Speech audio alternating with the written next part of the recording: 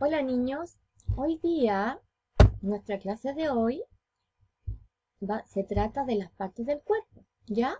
Para poder conocer cada parte de nuestro cuerpo, porque es tan importante, vamos a poner mucha atención y después vamos a conversar, ¿ya?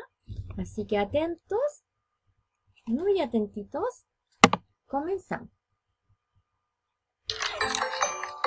Esta es la cabeza. Este es el cuello. Estas son las manos.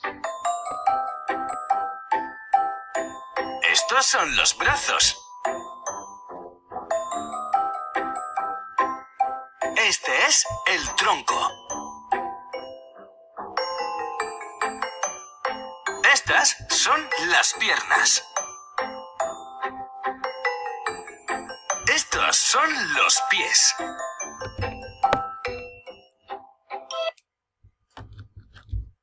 Ya. Todas esas partes del cuerpo ustedes ya las conocen, ¿cierto?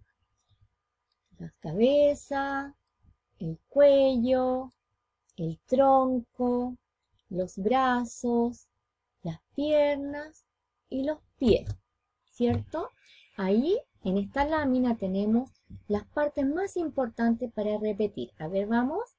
Cabeza, se van tocando las partes de su cuerpo, cuello, tronco y extremidades, que son los brazos y las piernas.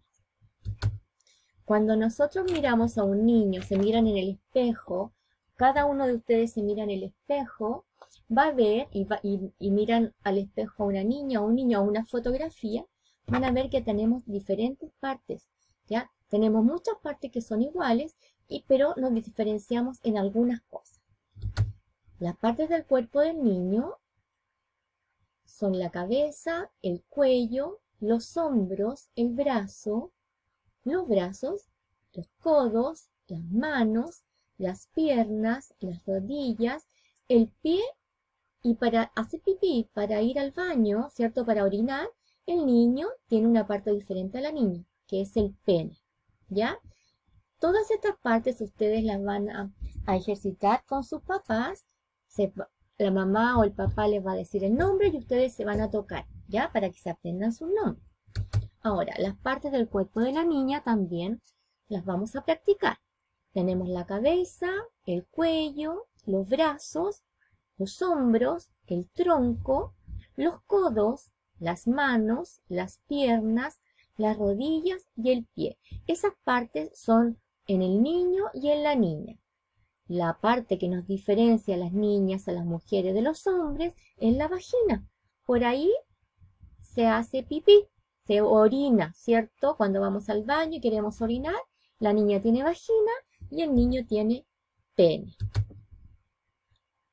Ahora, como ya conocen todas estas partes, vamos a pensar con qué parte del cuerpo yo puedo hacer algunas cosas. ¿Con qué parte del cuerpo puedo tomar la pelota? Con los brazos y con las manos. ¿Con qué parte del cuerpo puedo correr? Con las piernas. ¿Con qué parte del cuerpo puedo saltar?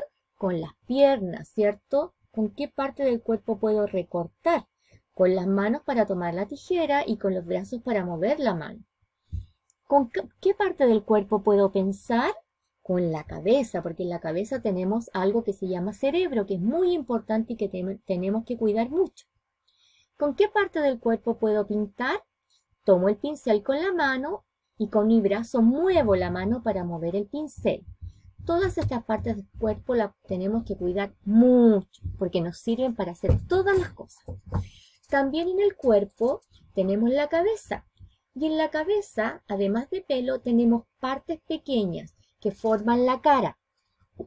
Esas partes son la frente, se la van a ir tocando y mirándose al espejo, las cejas, las pestañas, las orejas, la cara, la nariz, la boca, el mentón, el cuello, los ojos, ¿ya? Y todas esas partes sirven para hacer cosas específicas. Y vamos a hablar entonces de los órganos de los sentidos. En nuestra cara tenemos ojos, nariz, orejas, lengua dentro de la boca y, y además tenemos piel en las manos y en todo nuestro cuerpo. Todas estas cosas que yo le nombré, partes del cuerpo, forman los órganos de los sentidos. Con los ojos podemos ver, y ese es, el órgano de los sentidos que se llama vista. Con la nariz puedo oler, sentir los olores. Ese es el órgano de los sentidos que se llama olfato. Con las orejas puedo oír música, voces, ¿cierto? Y ese es el, es el órgano de los sentidos de el oído, audición.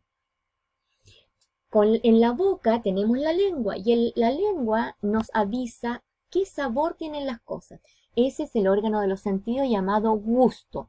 Y finalmente la piel de todo el cuerpo, pero especialmente de la mano, porque nosotros con la mano podemos tocar las cosas, se llama tacto. Con el tacto nosotros sabemos si las cosas son suaves, ásperas, duras, blandas.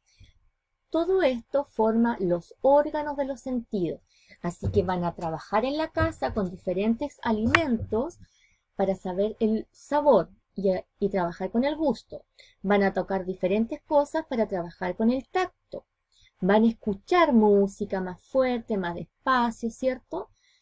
Y van a ocupar el oído o la audición. Van a oler diferentes cosas, oler el café, oler em, la basura, que es muy mal olor, oler una colonia, ¿cierto? Y así estamos ocupando la nariz y ocupamos el órgano de los sentidos llamado olfato. Y finalmente con los ojos que podemos ver. Y podemos ver el paisaje, el sol, las flores, las hojas del otoño, al conejito de Pascua cuando llegue, ¿cierto? La televisión, un cuento y a nuestros queridos papás, mamás y hermanitos, ¿cierto? Todo eso forman los órganos de los sentidos. Finalmente,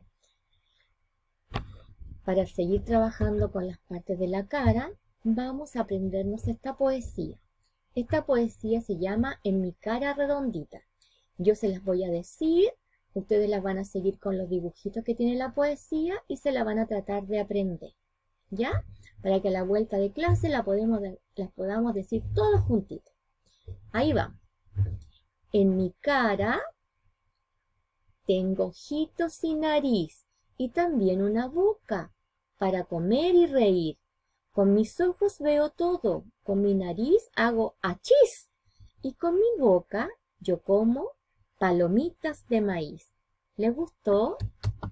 Muy bien, chicos. Entonces, me alegro mucho Espero que trabajen muy bien, ¿cierto? Con la mamá, con el papá, que se aprendan las partes del cuerpo y que se aprendan la poesía.